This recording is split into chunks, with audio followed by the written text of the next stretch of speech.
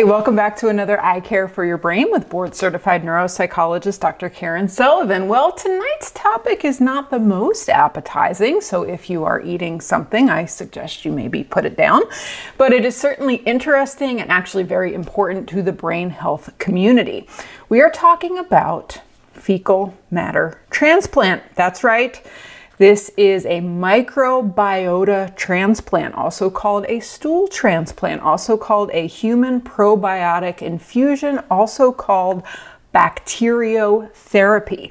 This is based on the premise that we need a balance of helpful and unhelpful bacteria in the gut. Specifically, we need good or beneficial bacteria to do the job of absorbing micronutrients, to digest our food efficiently, ideally through a process of fermentation, and reduce gut inflammation. Some medical conditions and antibiotic use can destroy the good bacteria. We also see that it's very difficult to keep this optimal balance in a processed food diet. This is concerning because 74% of the US food chain is considered to be ultra processed food that is not even recognized as food by the human immune system and the gut. That's pretty scary.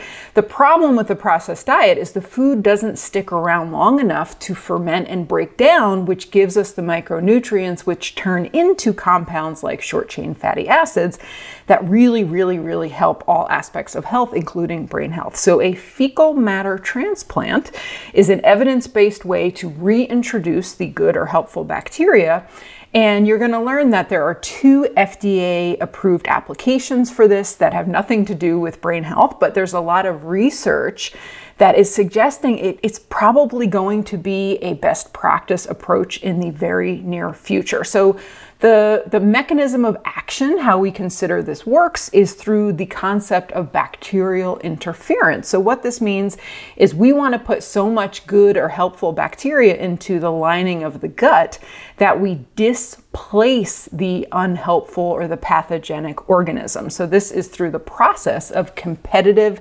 niche exclusion. So, all throughout the gut wall, we have kind of like these little lock and key fits for bacteria latching onto the lining of the gut wall.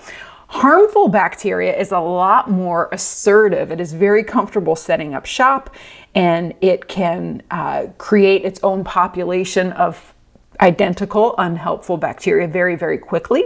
So when you have an aggressive, not helpful bacteria, it actually is very uh, quick to grow, and we need to infiltrate it with really uh, overwhelming it with a lot of the helpful bacteria. So we just have a balance. The goal is not to have no bad bacteria in the gut, that's not realistic, but what we do want to have is a balance and ideally a little bit more of the helpful. So, gut and brain, if you're not aware, is probably the latest in the uh, evidence based neuroscientific approach to brain health. This is through the connections that exist that are indirect and direct, connecting brain to gut. So, the primary communication channel there is the vagus nerve. This is a bidirectional system that is hardwired communication between the gut and the brain. What's really interesting is 80% of the information goes this way. So it actually seems that the gut has much more influence on the brain than the, the alternative. So what happens in the gut really dictates a lot of our what we call immune response and immuno communications to the brain. So this is really modulated through inflammation. So we know that there are brain cells that exist outside the brain and they actually line the entire gut, which is really just considered a tube from where food comes in to where food goes out. And we, we have brain cells all throughout that. So when there is any type of inflammation in the gut, which happens when the unhelpful bacteria is predominating, then we have inflammatory alarms or signals that are going up to the brain that are saying there's something wrong here. Then the immune system starts to send out inflammatory cells to counteract the inflammation. So we can we actually think this is the basis for the rise in autoimmune conditions that we see, but also just for some people kind of a, a restless, anxious feeling that there's something wrong but they can't quite put their finger on it and this parlays itself into uh, pretty significant depression or anxiety for a lot of people. So, gut health, reducing inflammation, these are kind of the newest you know, evidence-based way of really trying to infiltrate brain health. So getting back to this idea of an FMT, fecal matter transplant, um, this is actually not a new idea. This has been used all the way back into the fourth century in China with something that they used to call yellow soup or golden syrup, which was uh, either using fresh or dried and fermented stool to treat abdominal disease. So fast forward to 2023, and we actually have two FDA approvals for doing fecal matter transplants. One is through the process that would be like a colonoscopy, and the other one is actually um, drying it and taking it in capsule form. Remember, I said put down your food. So in the colonoscopy way, this is much more common. You basically do the prep like you would a colonoscopy to completely clean out your, your gut. Um, and then a gastroenterologist basically uses like a scope for a colonoscopy that goes the entire length of the colon. And as they're withdrawing it, they have a solution of donor feces um, that is then going to line the colon with presumably more helpful bacteria. So less commonly, you can also get a um, nose cannula that can put it in directly this way. Um, but there are higher risks of things like aspiration pneumonia. And like I said, you can also get a capsule where it can be swallowed. The transplant um, is donor stool diluted with 2.5 to 5 times salt water, sterile water, or 4% milk.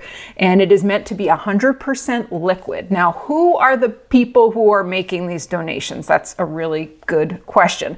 So it really depends on your doctor. You can actually go through a transplant bank or you can have someone you know. So, a suitable donor for a fecal matter transplant would be a healthy adult who has not had any antibiotics for six months, is not immunocompromised, is not at risk for an infectious disease, and does not have any chronic gastrointestinal issues like inflammatory bowel disease, irritable bowel, anything like that.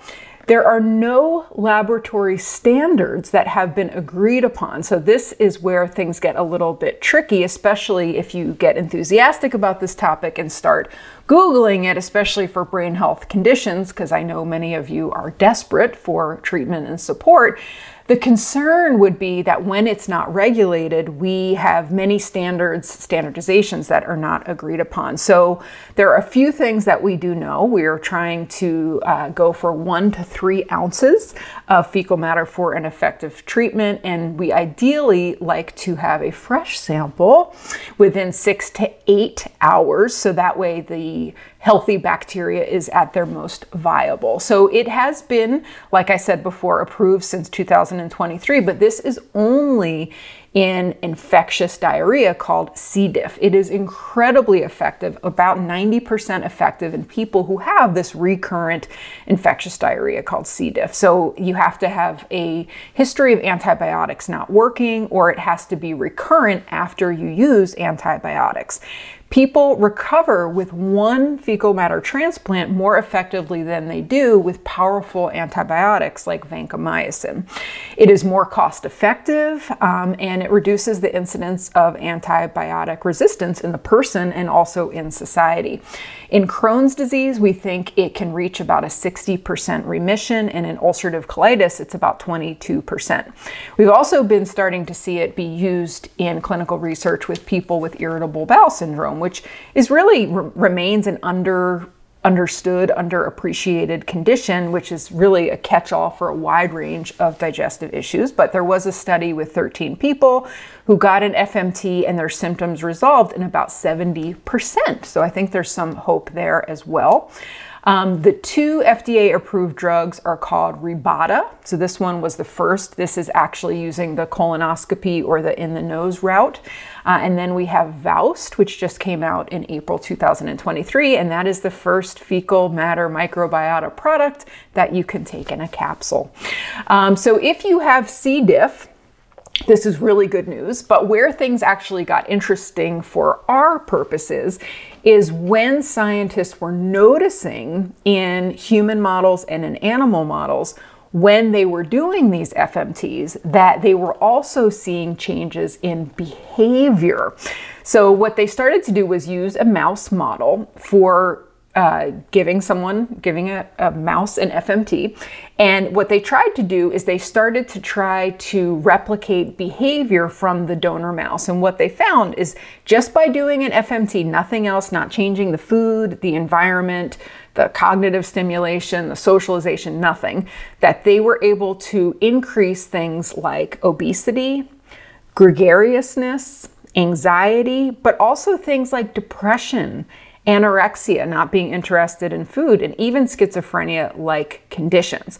So, this started to make smart scientists think wow, maybe there's a lot going on with this gut brain health connection that we don't understand, but could it also be a way to change behavior based disorders. So, to date, I would say that this is in the promising stage. We have 21 studies to date that show either improvement or uh, or transmission, what's interesting is you can reduce symptoms, but you can also cause symptoms. So basically, the, the insight was that they could manipulate clinical disorders by just changing the helpful or unhelpful bacteria that were in the gut.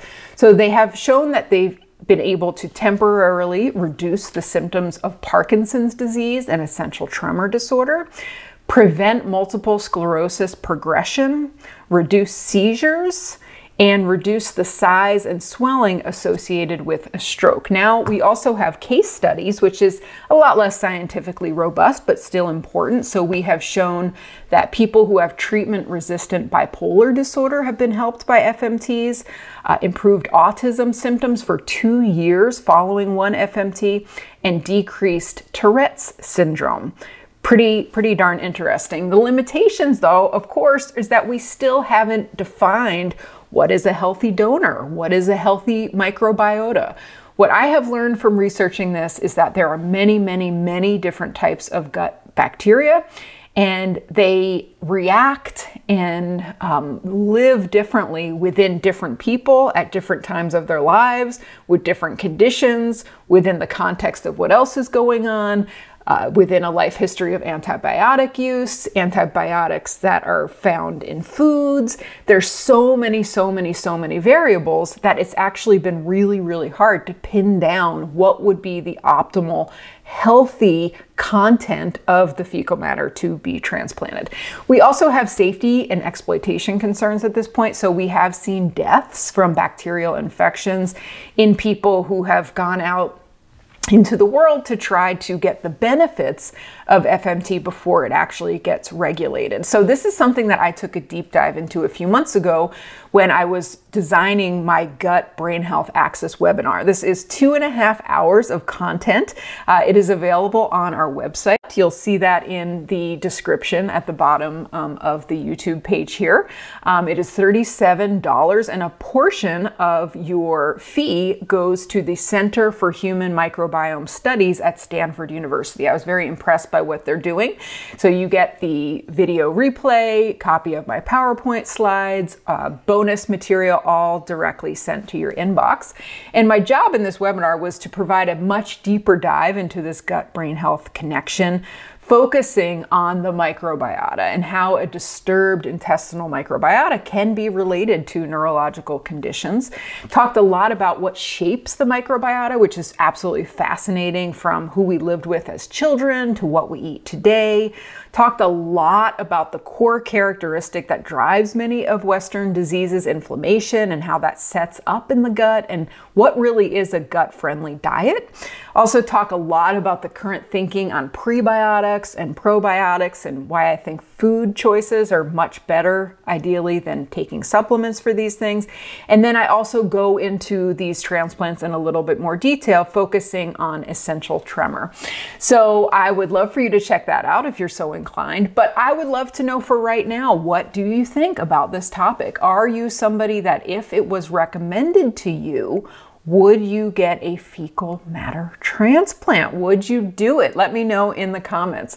If you enjoyed this longer length brain health lecture, I would really appreciate you liking the video and subscribing so you can always be notified whenever a new one comes out. Thank you so much, and I'll see you next time. Bye.